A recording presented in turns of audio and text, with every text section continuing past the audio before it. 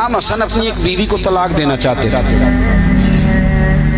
इतने इख्तलाफात हो गए कि बात तलाक तक चली गई। इमाम हुसैन आए, कहने लगे, भाई, सुना है, तलाक दे रहे हो भाभी को? फरमाने लगे हाँ। कहा, क्या हुआ?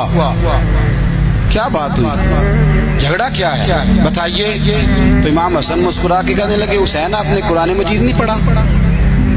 का पढ़ा है। का अल्लाह फरमाता लिबासुल्लकुम वन तुम लिबासुल्लाहुन मर्द औरतों का लिबास है, औरतें मर्दों का लिबास है। वो मेरी बीवी है, उसमें गलतियाँ हैं, तलाक देने लगा हूँ, पर मैं तो उसका लिबास हूँ गलती होगी तो पर्दा डालूँगा। तो हुसैन मैं उसके पर्दे डालूँगा, मैं तुम्हें नहीं बताऊँगा।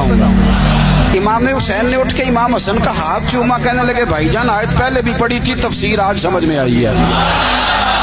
इख्तलाफ इतना शदीद है कि तलाक हो रही है। पर गिबत करने को तैयार है। कुछ दिनों के बाद इमाम हसन ने तलाक दे दी। तो इमाम हुसैन दोबारा आए। कहा, भाई, अब आपने तलाक दे दी, अभी बता दें। इख्तलाफ क्या था?